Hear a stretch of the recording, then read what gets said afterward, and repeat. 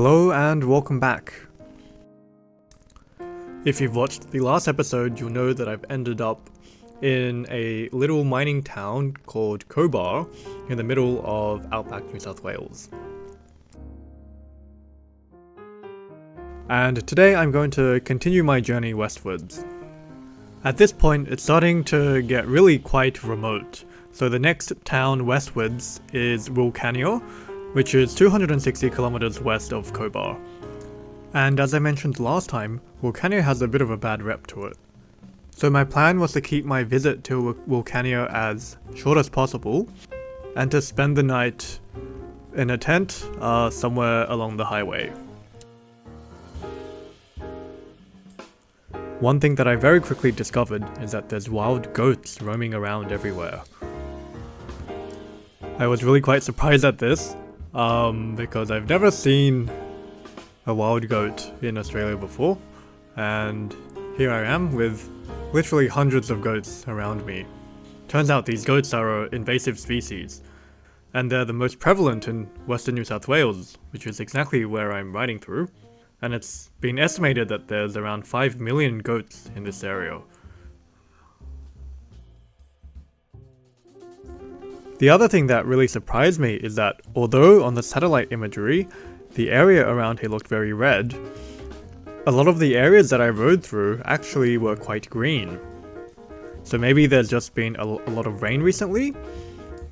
That would kind of make sense, given that the blue skies I encountered in the morning did not last for very long.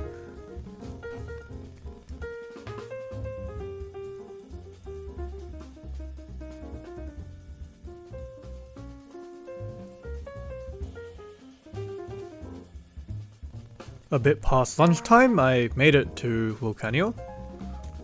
I talked to one of the locals and she told me that things were actually much better now compared to a couple years ago. But in any case, I decided not to linger for too long. I only took a couple of photos and decided to keep going. And because I arrived at Wilcannia quite early, I thought I might actually have a chance at going all the way to Broken Hill today.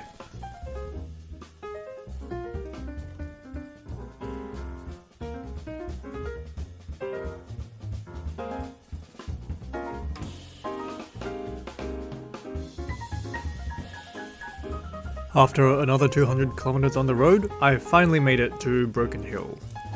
And let me tell you, what a nice feeling it was to finally be in a relatively large town with everything that you need nearby. I had a little bit of a celebration when I saw my first traffic light after about a thousand kilometers. Anyways, I decided to spend the night at a campsite a couple kilometers away from the city centre. A fun fact about Broken Hill is that although it's part of New South Wales, it actually observes Australian Central Standard Time, which is the time zone used in South Australia. Now, the reason for this is that when the Australian states adopted Standard Time, Broken Hill's only direct rail link was with Adelaide, not Sydney.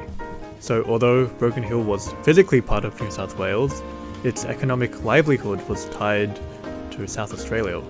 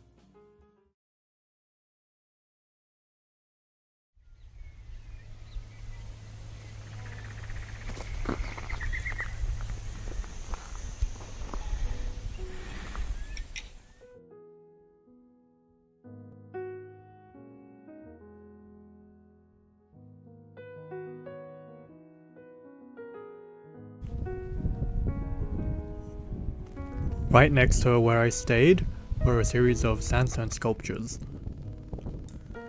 These sculptures, which were built in 1993, were made from giant sandstone blocks weighing over 50 tons that were shipped from the Wilcannia region.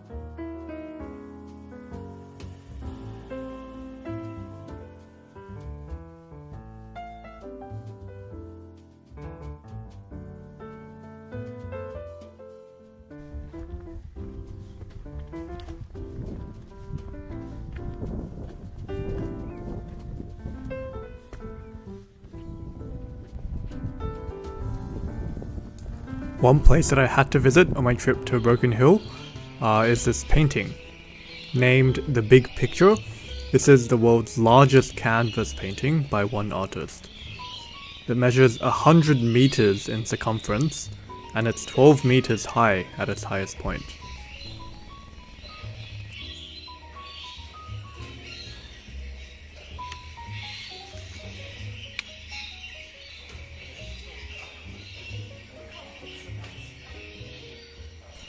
It paints a majestic scene of the Australian outback, and right in the middle you can see the sculptures that I just visited.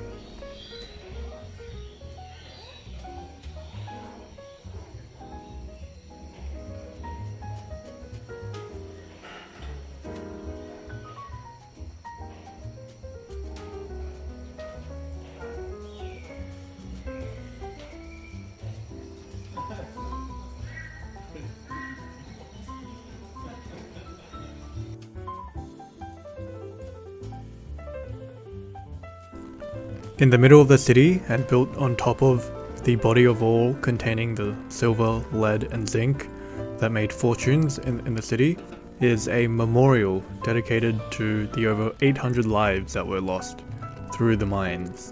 The names, age and cause of death of each of the miners who perished are etched into these glass panels. It's a very sad and solemn experience but I soon left the memorial, only to be stopped at the Broken Hill railway crossing. I spent half an hour waiting there, with that warning tone blaring incessantly in the background, watching these two blokes fiddle around with the train track. And at the end of it all, I guess they must have given up trying to fix the track, because the gates lifted without the train having passed through at all. It was a fantastic use of my time, especially because the sun had started to go down. And so by the time I reached my campground for the night, which was in the town of Silverton, about 20 kilometers northwest of Broken Hill, it was completely dark. The one good thing about this though, is that I was joined by a rather curious emu next to my tent.